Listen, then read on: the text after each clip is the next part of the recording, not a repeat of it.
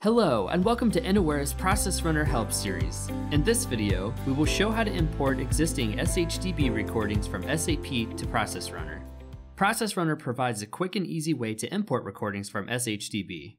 Let's begin by opening Process Runner Enterprise and double-clicking on New Transaction. In the New Process window, we can select the Import Recording button. In the Import Recording screen, we have the option to choose between importing from Excel or from SHDB.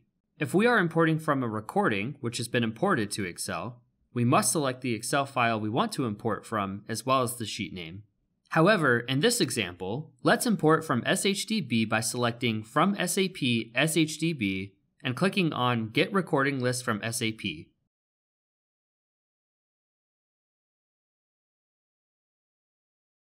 After logging onto an SAP system, the Select Recording dropdown will populate with any SHDB recordings from that SAP system. Let's scroll through and select the MM02 recording,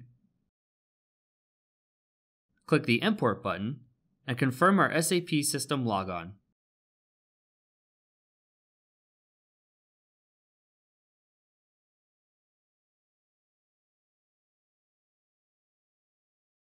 Now in the Mapper ribbon of Process Runner, we can see all of the fields and screens that were recorded in SHDB or SM35, and from here we can continue to map and build our process file. If we did not have the authorization to import an SHDB recording, we could try to export the SHDB file under the SHDB T code as an Excel file.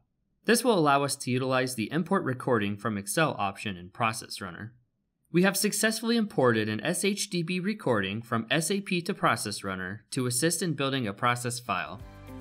Want to learn more about simplifying SAP with Innowera technologies? Visit us at innowera.com. Thank you for watching.